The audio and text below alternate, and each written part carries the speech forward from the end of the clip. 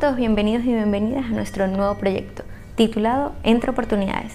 Nosotros, desde Oportunidad, queremos que este podcast sea un espacio para discutir temas relacionados con el activismo, la construcción de paz y defensa de nuestros derechos. Y qué mejores invitados que los protagonistas de nuestras formaciones.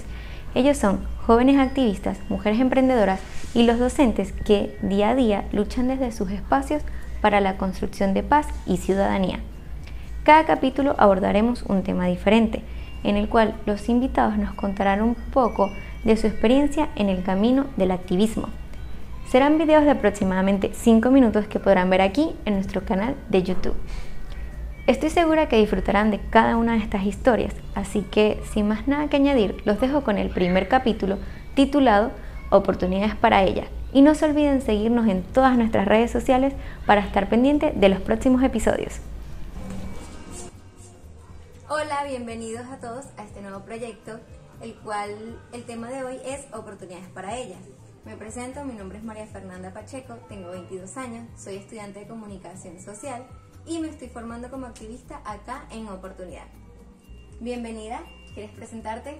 hola, mi nombre es Grecia Mata, tengo 24 años y curso quinto año de Derecho en la Universidad Central de Venezuela. Bueno, es, el día de hoy vamos a hablar sobre las oportunidades que te llevaron hasta donde estás hoy en día, que nos cuentes un poco de tu historia, de lo que has hecho, lo que has logrado. Así que comencemos con la primera pregunta que es, tú me contaste hace un tiempo hiciste la formación de líderes con el equipo de oportunidad. Bueno, háblanos un poco de eso, dónde la realizaste, qué aprendiste.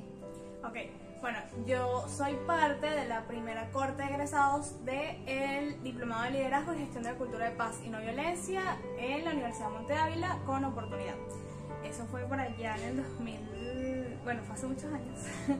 Pero, em, nada, eh, esa formación, bueno, fue en la Universidad Monte Ávila, íbamos todos los sábados religiosamente a nuestra formación y básicamente ahí aprendimos desde conceptos em, básicos como trabajo en equipo, que bueno, puede parecer básico para, para, las organizaciones en las, que, en las que nos desenvolvemos y trabajamos, pero que eh, al final tienen una, un montón de, de cosas y datos interesantes que hay que aprender para poderlos ejecutar y poder crear equipos de alto desempeño y eh, liderazgo, eh, dinámicas que, que, sean buenas para la integración. Y además hablamos de la cultura de paz y no violencia y de cómo llevar esa, em, este, este, concepto que, que es, tendencia creo ahorita a nivel eh, organizacional, que es la cultura de paz y no violencia, cómo llevarlo a nuestras actividades cotidianas eh, no solamente en, nuestro, en nuestro, quizás en, nuestro, en nuestra casa o en nuestro sino en las organizaciones o en el trabajo en el que, en, los trabajos a los que nos dedicamos.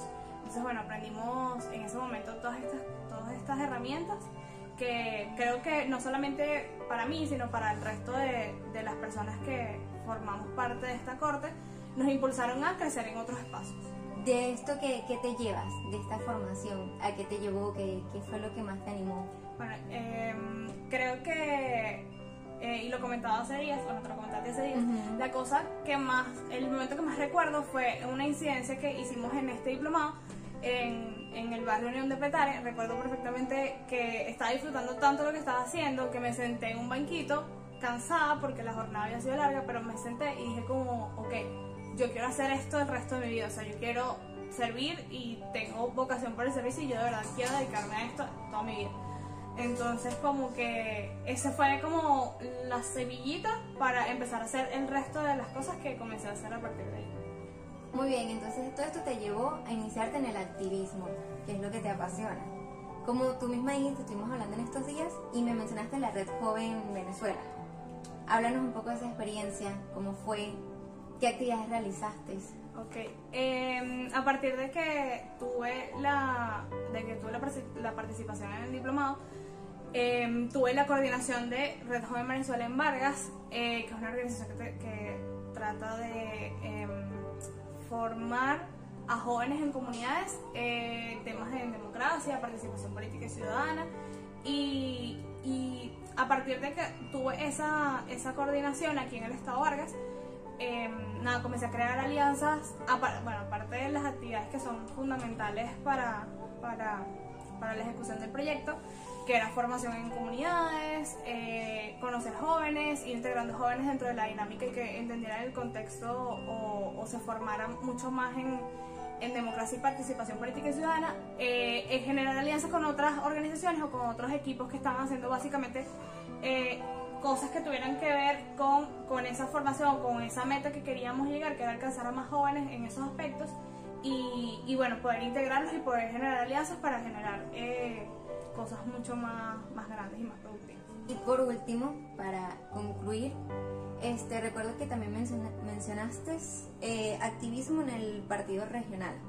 Okay. Eh, bueno, hice a partir de, eh, de, de, esa... Es que todo parte literalmente del diplomado. Sí. A partir del diplomado también tuve más adelante... O sea, es que la incidencia, cuando yo entendí que yo quería dedicarme al servicio por lo público y al servicio por las comunidades, entendí que lo podía hacer desde muchos ámbitos.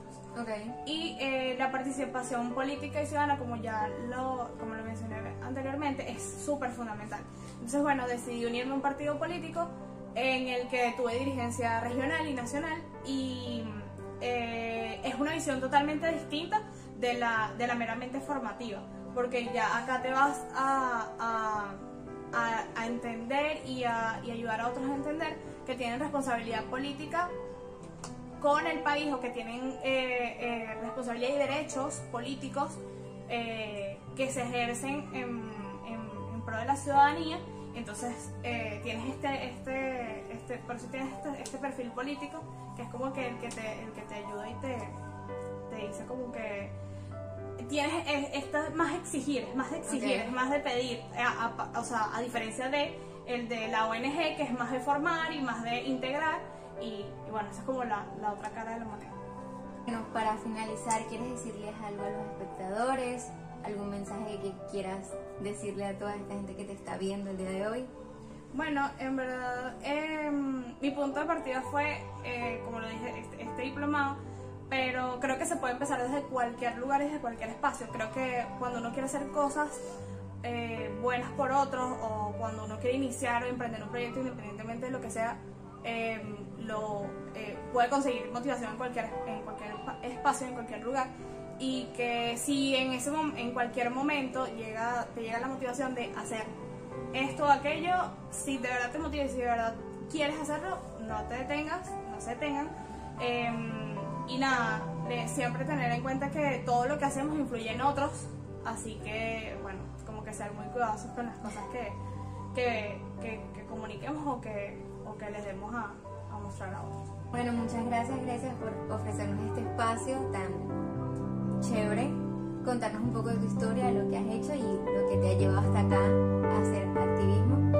Entonces, bueno, este, me despido y estén pendientes de los próximos episodios